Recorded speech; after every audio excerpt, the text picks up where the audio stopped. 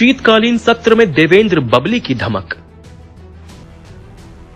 भ्रष्टाचार मुक्त पंचायती राज के नारे पर लगी मुहर। नहीं टिक पाए देवेंद्र बबली के मंत्रालय पर लगे विपक्षियों के आरोप। भ्रष्टाचार मुक्त पंचायती राज की मुहिम में लगे पंचायती राज मंत्री देवेंद्र बबली के लिए इस बार का हरियाणा विधानसभा का शीतकालीन सत्र उनकी मुहिम को और आगे बढ़ा गया। विपक्षी पार्टी कांग्रेस और उनकी खुद की पार्टी जेजेपी के विधायकों द्वारा उन्हें विधानसभा में घेरने की कोशिश की गई। लेकिन भ्रष्टाचार के खिलाफ जिस ईमानदारी से देवेंद्र बबली ने लड़ाई शुरू की है, वो ईमानदारी उनके काम आई। उनके द्वारा किए गए ईमानदारी से काम उन पर लग रहे आरोपों के सामने वो ढाल की तरह खड़े हो गए। विधानसभा सत्र के दौरान कांग्रेस विधायक मामन खान ने जब उनके विभाग में भ्रष्टाचार की बात कही तो देवेंद्र बबली ने तुरंत जवाब देते हुए कहा, मानता हूँ भ्रष्टाचार था, लेकिन अब तो कार्रवाई खूब की है। और उस पर लगाम भी लगा दी है। बबली ने साफ़ कहा कि उनकी सरकार भ्रष्टाचार को पनपने नहीं देगी। एक रास्ते के 20 नाम रखे 20 बार पैसे निकाले, उनका रिकॉर्ड नहीं और एक भी रोडी वहाँ नहीं लगी। नब्बे कैटर सेट बनाए, एक भी कैटर सेट नहीं बनाए, उनकी सारी पेमेंट खा गए और मंत्री जी कहते हैं, हमारे पास रिकॉर्ड ही नहीं है।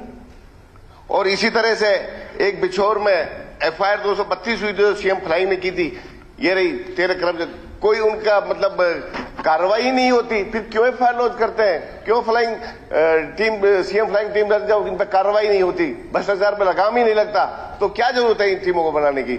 मेरा ये क्वेश्चन है कि इस चीज़ का जवाब दिया जाए। मंत्री।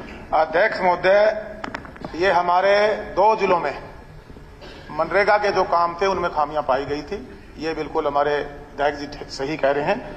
और हमने हमारा जो बिज़नेस विंग है डिपार्टमेंट का उसको ये जाँच के आदेश विभाग के द्वारा दिए गए थे और इसमें जो जो लिप्त पाए गए अधिकारी या कर्मचारी, उन पर एफआईआर दर्ज की गई है और वो जाँच जारी है। इसमें हमारे जो एबीपीओ थे कुछ लोग ये टेम्परेरी जॉब पे थे।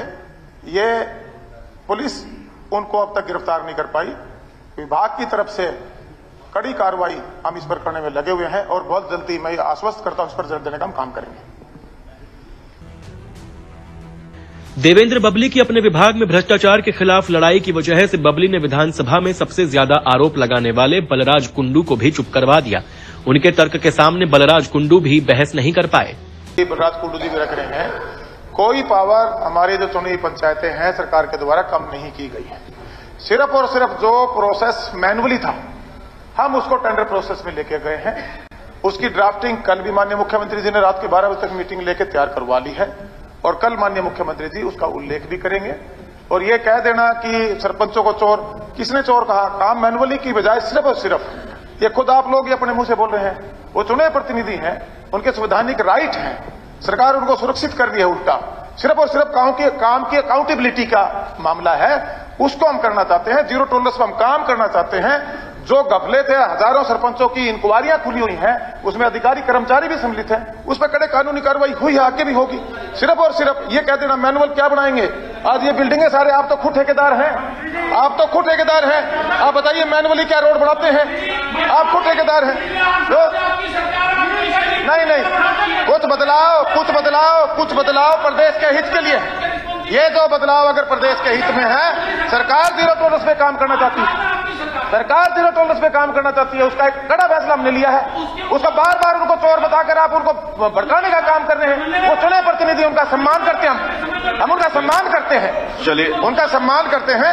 धन्यवाद, ये कह देना कि सिर्फ़ मैनुअल की बजाय ये टेंडर प्रोसेस में जा रहा है इसके अलावा कोई इसमें चेंजेस नहीं है। श्री ईश्वर सिंह जी। नहीं मेरा सॉरी दीपक मंगला जी।